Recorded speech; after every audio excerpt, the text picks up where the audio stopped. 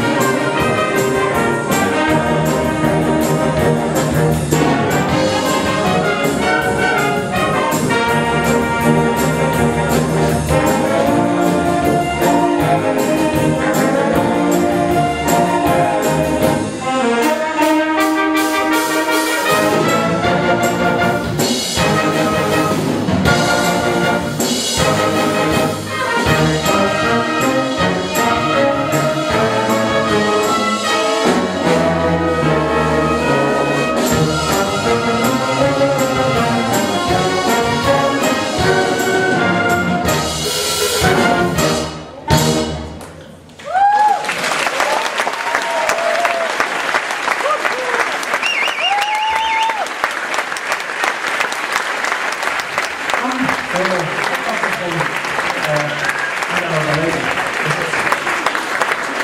Sebastian.